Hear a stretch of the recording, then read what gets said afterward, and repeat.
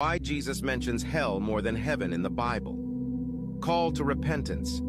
Jesus mentions hell highlights the importance for individuals to repent and seek forgiveness for their sins. It underscores the urgency of turning away from a life of sin and turning to God, Matthew 10, 28. And do not fear those who kill the body but cannot kill the soul. Rather fear him who can destroy both soul and body in hell. Matthew 18, 8, 9. And if your hand or your foot causes you to sin, cut it off and throw it away. It is better for you to enter life crippled or lame than with two hands or two feet to be thrown into the eternal fire.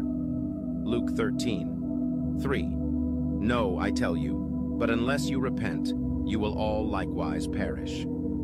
Acts 17:30, 31. The times of ignorance God overlooked, but now he commands all people everywhere to repent, because he has fixed a day on which he will judge the world in righteousness by a man whom he has appointed.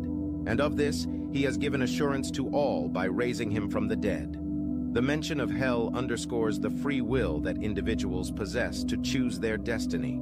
It emphasizes the accountability each person has for their decisions regarding faith and salvation. It is up to you to decide your eternal faith. Deuteronomy 30, 19. I call heaven and earth to witness against you today, that I have set before you life and death, blessing and curse. Therefore choose life that you and your offspring may live. Follow us for more.